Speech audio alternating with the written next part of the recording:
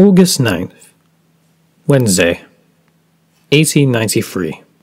Ever since I talked to Charlotte about her tutor, she's been working harder and seeing Mr. Blackwood less often outside of Tuesdays and Thursdays, though she seems to be unconscious about these patterns. It's like, in the back of her mind, she's trying to make up for her feelings or punish herself. She has a habit of doing that. Well, today, after she had been in my office before, I entered and continued to work when I would leave. I suggested the two of us had a little break together. We got situated on the love seat together, and with some tea and cake in front of us. But I couldn't help but notice how much the girl kept yawning.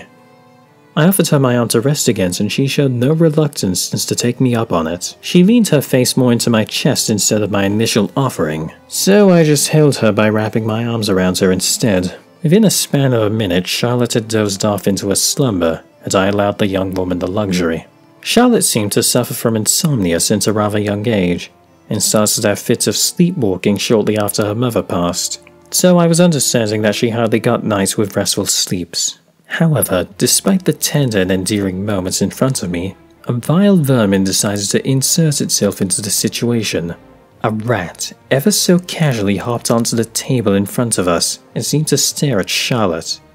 I felt myself hold back the urge to yell at the disgusting thing and kill it there, but I didn't want to wake my daughter. It cleans its whiskers and then scurries off without much more action. I must be sure to have Terrell and the maids keep an eye out for holes in the walls.